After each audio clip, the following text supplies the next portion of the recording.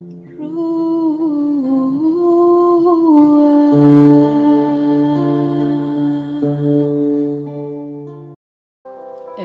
de nuestro Señor Jesucristo según San Lucas.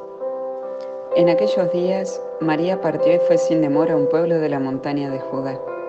Entró en la casa de Zacarías y saludó a Isabel.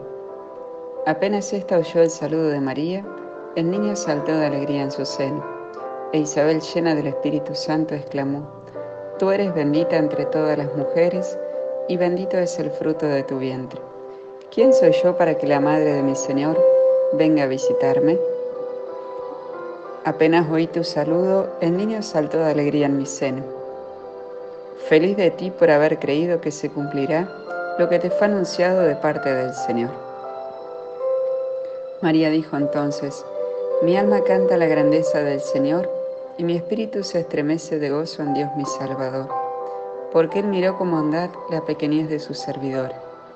En adelante todas las generaciones me llamarán feliz, porque el Todopoderoso ha hecho en mí grandes cosas.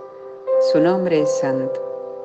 Su misericordia se extiende de generación en generación sobre aquellos que lo temen.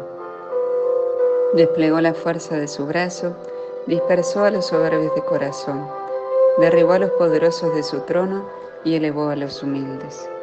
Colmó de bienes a los hambrientos y despidió a los ricos con las manos vacías.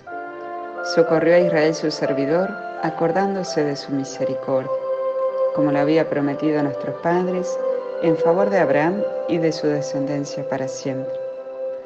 María permaneció con Isabel unos tres meses y luego regresó a su casa. Palabra del Señor, gloria a ti, Señor Jesús.